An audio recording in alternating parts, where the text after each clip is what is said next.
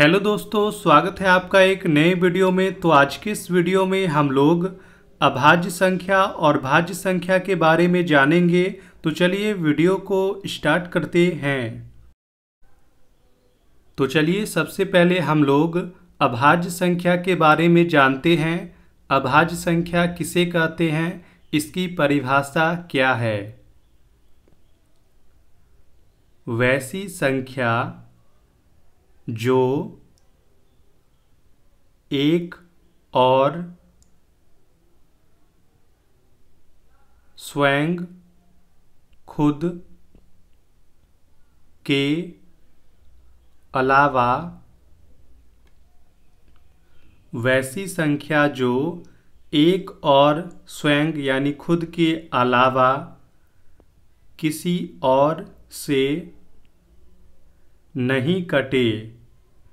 वैसी संख्या जो एक और स्वयं के अलावा किसी और से नहीं कटे, उसे अभाज्य संख्या कहते हैं। अभाज्य संख्या में क्या होता है? जो संख्या होता है, वो एक से कटता है और स्वयं से, यानी खुद से कटता है। इसके अलावा किसी और से नहीं कटता है, यानी कि इसके अलावा किसी और से भाग नहीं लगता है।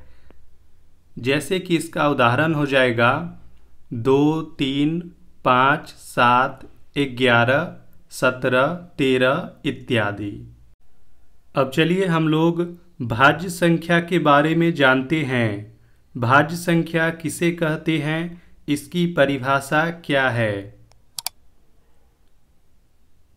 वैसी संख्या जो एक और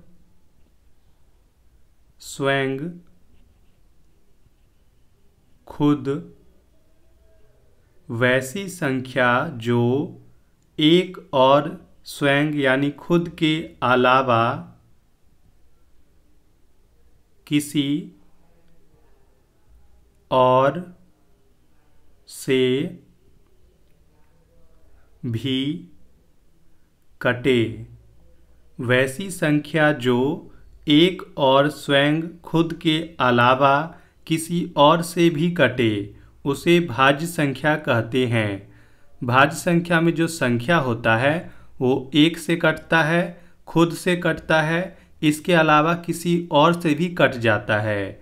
जैसे कि इसका उदाहरण हो जाएगा, चार छ आठ, नौ, दस, बारह इत्यादि। तो यदि यह वीडियो आपको अच्छी लगी हो तो वीडियो को लाइक, शेयर और चैनल को सब्सक्राइब ज़रूर करें।